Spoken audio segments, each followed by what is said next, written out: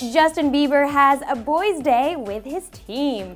Instagram has been blowing up with pics of JB and his entourage, including Scooter Braun and Alfredo Flores, enjoying what appears to be a fun-filled day on the lake. And did you know that the Biebs is actually quite the wakeboarder? Not that we thought he could actually be bad at anything, but his pal Alfredo Flores took to Instagram to share quite a bit of pics and videos from the trip and even showed off some of Justin's skills. Just check out this vid of JB getting some major air and even clearing the wake.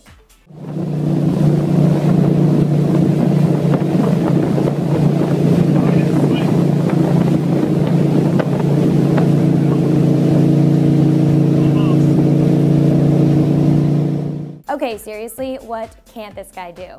And from the looks of the posts from the rest of the day, which culminated in a backyard barbecue, it seems that JB's manager and bud, Scooter Braun, was the one responsible for planning the boating outing. And from the looks on these guys' faces, they could not have had a better time. From jet skiing to tubing to wakeboarding, this was quite the activity-filled day. And while Justin himself did not share any action pics from the day, he did manage to Instagram a gorgeous pic of a sunset with a caption reading simply, sunset is beautiful.